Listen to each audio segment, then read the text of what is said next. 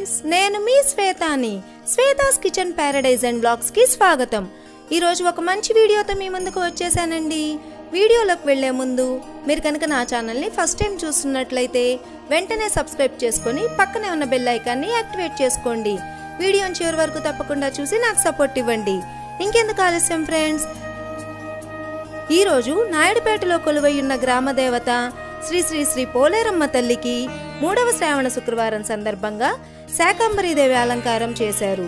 మహాశక్తి స్వరూపిణి ఆదిశక్తి అంశ అయిన శ్రీ పోలేరమ్మ తల్లి ఈ అలంకారంలో కళకళలాడుతూ తన కరుణా కటాక్షాలను భక్తులపై కురిపిస్తోంది. శాకంబరి ఎవరు? అమ్మవార్లకి ఈ అలంకారమును ఏ ఏ సందర్భాల్లో ఎందుకు చేస్తారనే విషయాన్ని ఈ వీడియో చూస్తూ మనం తెలుసుకుందాం. మార్కండేయ పురాణంలోని చండీ సప్తశతితో పాటు దేవీ భాగవతంలో శాకంబరి దేవి గురించి ప్రస్తావన ఉంది.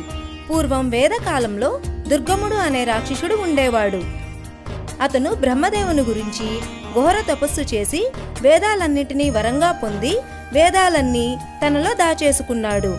దాని వలన లోకంలో అందరూ వేద మంత్రాలు పూజలు యజ్ఞాలు యాగాలు క్రతువులు అన్నీ మర్చిపోయారు. వేదమే అన్నిటికీ మూలం. అందువల్ల నాలుగు వర్గాల వారు పనులు మర్చిపోయారు.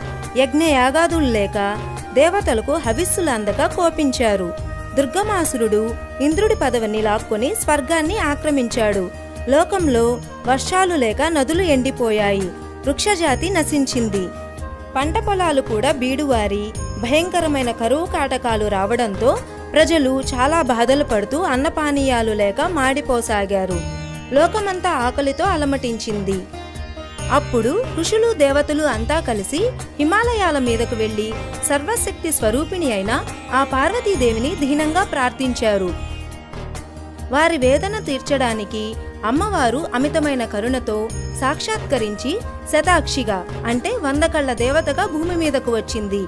బీటలు వారిన భూమిని కరువు కాటకాలను లోకంలో ఉన్న దుస్థితిని చూసి అమ్మవారికి ఒక కన్ను నుండి నీరు వచ్చింది. ఆ కన్నీరే ఏరులై వాగులై నదులన్నీ నిండి లోకమంతా ప్రవహించింది. అయితే భూములు సాగు చేయడానికి పంటలు పండించడానికి కొంత సమయం పడుతుంది. కాబట్టి జీవరాశుల ఆకలిని వెంటనే తీర్చడానికి అమ్మవారు అమితదయతో శాకాంబరి అవతారం దాల్చి రకరకాల కూరగాయలు పండ్లతో సహా ఒక పెద్ద చెట్టులాగా అవతరించి దర్శనమిచ్చింది ఆ మహాశక్తి స్వరూపిణి. ప్రజలంతా ఆ కాయగూరలు పండ్లు తిని ప్రాణాలు నిలుపుకున్నారు.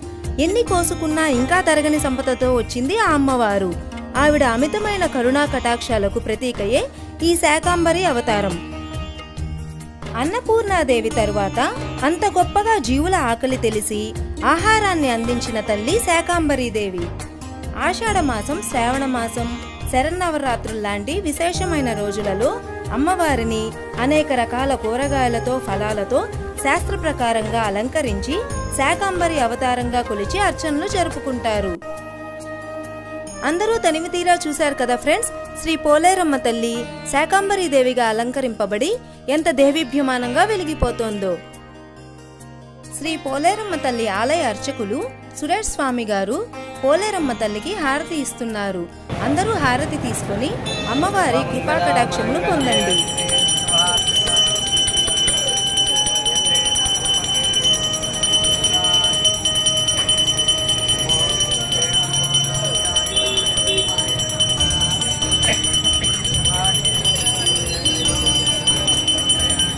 పంతొమ్మిది ఎనిమిది రెండు వేల ఇరవై రెండు నాలుగవ శ్రావణ శుక్రవారం సందర్భంగా ఇరవై వేల నూట పదహారు నిమ్మకాయలతో అమ్మవారికి అలంకరణ జరుగును. ఇరవై ఆరు ఎనిమిది రెండు వేల ఇరవై రెండు ఐదవ శ్రావణ శుక్రవారం సందర్భంగా అమ్మవారికి ఘనంగా పుష్పాలంకరణ మరియు సాయంత్రం ఆరు గంటలకు సామూహిక కుంకుమార్చన జరుగును. మొట్టమొదటిసారిగా దేవి శరన్నవరాత్రులు ప్రారంభించుచున్నారు. ఉభయములు చేయదలిచిన భక్తులు ఈవోని గాని ఆలయ అర్చకుల్ని గాని సంప్రదించవలసిందిగా సురేష్ స్వామి గారు తెలియజేశారు. ఫ్రెండ్స్ నేను చేసిన ఈ వీడియో మీకు నచ్చినట్లయితే ఈ వీడియోని లైక్ చేయండి షేర్ చేయండి.